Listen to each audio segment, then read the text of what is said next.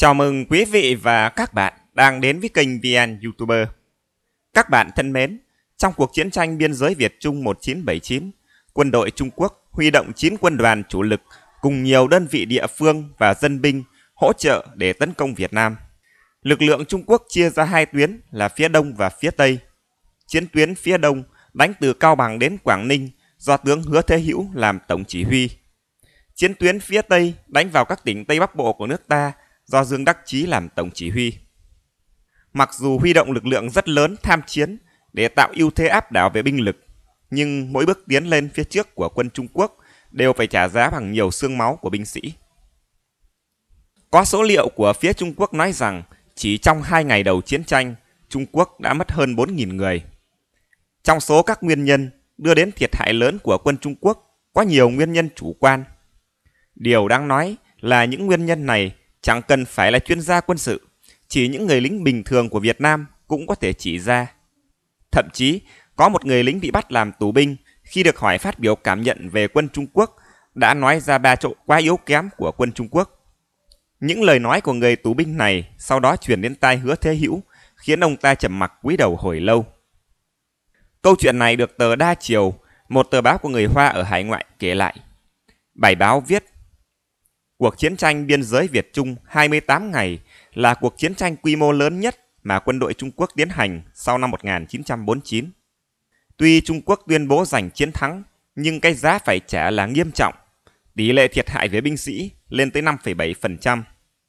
Mức độ thiệt hại binh sĩ trong chiến đấu như vậy có nghĩa là năng lực tác chiến cá nhân của binh sĩ Trung Quốc và trình độ chiến thuật phân đội quá thấp. Đây cũng là điều được các binh sĩ Việt Nam bị bắt nêu ra. Trong một trận đánh, một binh sĩ Việt Nam bị quân đội Trung Quốc bắt được. Người binh sĩ này đã có những đánh giá về khả năng của binh sĩ Trung Quốc trên chiến trường. Anh ta nói binh sĩ Trung Quốc rất dũng mãnh, không sợ chết, nhưng có ba điều không làm được. Đó là không có chiến thuật. Khi xung phong thì từng đám từng đám xông lên, không ngó ngàng gì đến tiền hậu tả hữu. Thứ hai là không biết lợi dụng địa hình. Khi bắn súng đều lộ ra cả nửa người. Không biết lợi dụng lùm cỏ ụ đất để làm vật che chở. Thứ ba là bắn không chuẩn. Mỗi lần quân Trung Quốc bắn, họ đều nhìn thấy các làn đạn bắn ra, nhưng lại không nghe thấy âm thanh của đạn bay qua bên tai mình. Sau đó, sự việc này truyền đến tai tư lệnh quân khu Quảng Châu Hứa Thế Hữu. Ông này từng là tổng chỉ huy mặt trận phía đông của cuộc chiến tranh biên giới với Việt Nam. Hứa Thế Hữu nghe rồi suy nghĩ rất lâu, cảm thấy thực sự là như thế. Ông ta cúi đầu trầm mặc không nói năng gì. Trên thực tế, có rất nhiều sư đoàn trưởng cũng từng báo cáo về tình huống này. Chẳng hạn sau cuộc chiến, sư đoàn 162, quân đoàn 54 tổng kết cho rằng động tác chiến thuật cơ sở của bộ đội rất kém. Các chiến sĩ đại đa số đều không biết nhìn địa hình. Có những tiểu đội không biết tản ra. Đội hình chiến đấu quá tập trung. Có những đơn vị không biết thay nhau yểm trợ. Không biết dùng hỏa lực kết hợp vào tấn công. Còn sư đoàn 163 quân đoàn 55 thì tổng kết cho rằng Đội hình chiến đấu cực kỳ dày, có những đơn vị cần phải phân tán nhưng không phân tán được mà cứ co cụm thành một đám. Thậm chí còn xuất hiện tình huống đối phương bắn ra ba phát pháo đã khiến 33 người hy sinh. Trong thời kỳ chiến sự ở Lão Sơn, ông Lưu Á Châu, người sau này làm đến thượng tướng, chính ủy đại học quốc phòng của giải phóng quân Trung Quốc, nhưng khi đó mới là chỉ huy tiểu đoàn, đã từng đến thăm tiền tuyến Lão Sơn năm 1987. Ông Lưu Á Châu có viết bài cho biết rằng trong báo cáo của Phó Chủ tịch Thường vụ Quân ủy Trung ương khi đó là Dương Thượng Côn, cũng đã nói đến những vấn đề tương tự như sau. Lão Sơn là vùng rừng rậm, binh đoàn lớn không thể triển khai. Quân địch rút pháo lớn về phía sau, chỉ để lại một số pháo nhỏ. Ba người một khẩu, đánh cực kỳ chuẩn, đánh xong liền rút chạy. Binh sĩ trên chiến địa của ta tập trung dày, thường có thương vong. Từ góc độ rèn quân mà nói, vấn đề cũng rất nổi bật đối mặt với địch nhân mà không thể đánh, thậm chí có khi ngay cả việc bắn một quả pháo cũng phải thông qua phê chuẩn của chỉ huy tiền phương quân khu. Quan binh thường thường phản ánh rằng đây là một cuộc chiến tranh bó tay bó chân. Không có tính chủ động và càng thiếu tính linh hoạt bất ngờ. Phần lớn thủ đoạn tác chiến vẫn là của thập niên 40 và 50. Mà dù cho có thủ đoạn tác chiến và trang bị hiện đại cũng không được phai đến chiến trường. Cái được giới thiệu là kinh nghiệm về phương pháp tác chiến, bát cấp đồng đài cũng bị quan binh phản ánh là không tốt. Cái gọi là bát cấp đồng đài, tức là trước mỗi khi tổ chức đột kích, thủ trưởng quân khu, thủ trưởng quân đoàn, sư đoàn trưởng, trung đoàn trưởng, tiểu đoàn trưởng, đại đội trưởng, trung đội trưởng, tiểu đội trưởng, cho đến tổ trưởng tổ chiến đấu tề tựu vào một chỗ, bàn thảo cách đánh. Trong khi đó, nơi cần đánh thường thường chỉ là một quả đồi nhỏ vài trăm mét, nhiều lắm là sử dụng quy mô một đại đội để tấn công. Một vị sư đoàn trưởng nói, kiểu đánh trận này tôi cảm thấy so với trước đây còn thụt lùi hơn. Đánh vào một đồi núi nhỏ như vậy, so với chiến tranh du kích không khác nhiều. Sau này làm sao đánh lớn được? Tôi thấy không có chút nào tích cực. Chỗ không tích cực không phải chỉ ở một điểm đó. Tuy khu vực Lão Sơn đại quân tập trung, nhưng lực lượng thực sự có thể lên đánh lại không nhiều. Trong tình huống này, mỗi đơn vị bèn chọn ra cho mình một phân đội đột kích đơn độc trú ở một nơi nào đó, nhiều lần diễn luyện và được đãi ngộ cao hơn hẳn các đơn vị khác. Như phân đội đột kích của sư đoàn 61, chỉ riêng tiền chi phí lương thực đã hết 15 vạn tệ.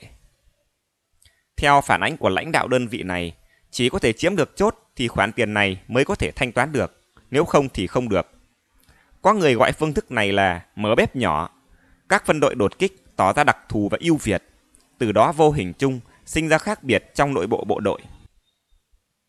Nghiêm túc mà nói, từ 1979 trở đi, Trung Quốc đã không đánh một chiến dịch nào hoàn chỉnh tiêu diệt số lượng lớn quân đối phương, mà chỉ là đánh chiến tranh tiêu hao, thậm chí là chiến tranh du kích.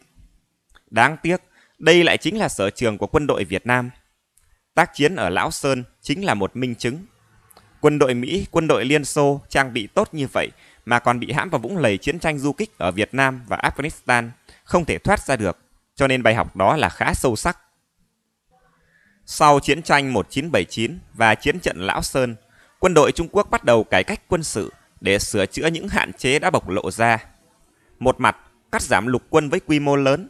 Mặt khác, đem quân đoàn bộ binh cải biên thành tập đoàn quân binh chủng hợp thành để phát huy sức mạnh tổng hợp của các binh chủng. Tuy vậy, cuộc chiến với Việt Nam xét đến cùng vẫn là một cuộc chiến tranh truyền thống. Âu Mỹ thậm chí gọi nó là một cuộc chiến tranh kiểu thế chiến thứ hai. Kinh nghiệm đó cố nhiên có giúp được Trung Quốc trong việc cải cách nhưng cũng chỉ giúp được phần nào. Cái thật sự khiến quân đội Trung Quốc mở mắt là cuộc chiến tranh vùng vịnh năm 1991. Kết quả cuộc chiến đó khiến giới lãnh đạo quân sự Trung Quốc kinh hoàng. Do vậy việc xây dựng quân đội hiện đại mới thực sự bắt đầu. Thưa quý vị và các bạn, trên đây là bài báo của tờ Đa Triều, phân tích về một vài chỗ yếu kém của quân đội Trung Quốc trong 10 năm chiến tranh biên giới với Việt Nam. Đây cũng chỉ là một số điểm, chứ chưa phải tất cả những nhược điểm đã được truyền thông Trung Quốc chỉ ra. Những năm qua, các hạn chế của quân đội Trung Quốc đã được nhiều cơ quan truyền thông khác mổ xẻ rất nhiều. Chẳng hạn trên trang mạng Bác Đàm, một tác giả tên là Lưu Giã Sơn đã từng viết về sự non kém trong hiệp đồng bộ binh và thiết giáp rằng Điều ngu ngốc nhất là bộ binh của ta khi đi cùng tăng thiết giáp thực hành đột kích. Vì để tránh bị rơi từ xe tăng xuống, họ đã buộc ba lô ở sau lưng của mình vào với xe tăng. Có chiếc xe tăng bên trên có hai mươi mấy người như vậy. Kết quả là khi gặp phục kích thì không thể nhảy xuống tác chiến kịp thời, trở thành những con cá nằm trên cái thớt bằng sắt. Có chiến sĩ còn chưa kịp tháo ba lô ra đã bị bắn chết. Có một số chiếc xe tăng bị bắn cháy, bên trên vẫn còn buộc 4 năm lính bộ binh bị chết như vậy. Nói riêng về hứa thế hữu, ông tướng này là một nhân vật mà gần đây được truyền thông Trung Quốc ca tụng như một huyền thoại. Bởi vì thời trẻ, ông ta từng là một nhà sư ở chùa Thiếu Lâm và học võ thuật ở trong ngôi chùa nổi tiếng này. Người ta đồn rằng hứa thế hữu là người có võ công giỏi nhất trong quân đội Trung Quốc, không ai có thể đánh bại ông ta. Tuy nhiên những hào quang huyền thoại đã không giúp hứa thế hữu tránh được những thất bại. Trong số nhiều thất bại, có một trận quân đội Trung Quốc thất bại cay đắng nhất khi cả một trung đoàn bị đánh đến suýt phải xóa phiên hiệu, bị bắt sống hơn 200 người và quan trọng là thất bại của nó liên quan trực tiếp đến trách nhiệm của Hứa Thế Hữu. Sự việc là sau ngày mùng 5 tháng 3, Trung Quốc bắt đầu tuyên bố rút lui.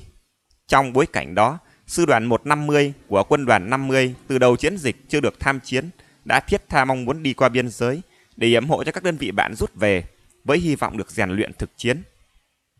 Hứa Thế Hữu ban đầu nghĩ rằng chiến sự đã gần kết thúc, không muốn để sư đoàn này xuất cảnh, nhưng các cấp dưới quá nhiệt tình nên cuối cùng hứa đồng ý.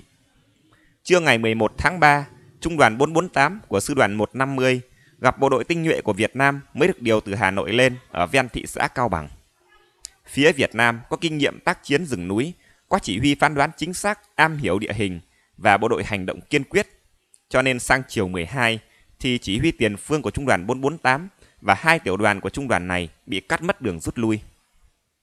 Sư đoàn 150 điều hai đại đội đi đứng cứu nhưng cũng bị bao vây không thoát được. Cuối cùng lực lượng này tổn thất 542 người, trong đó có hơn 200 người bị bắt sống. Người ta nói rằng vì thất bại này, Hứa Thế Hữu đã hối hận đến tận cuối đời.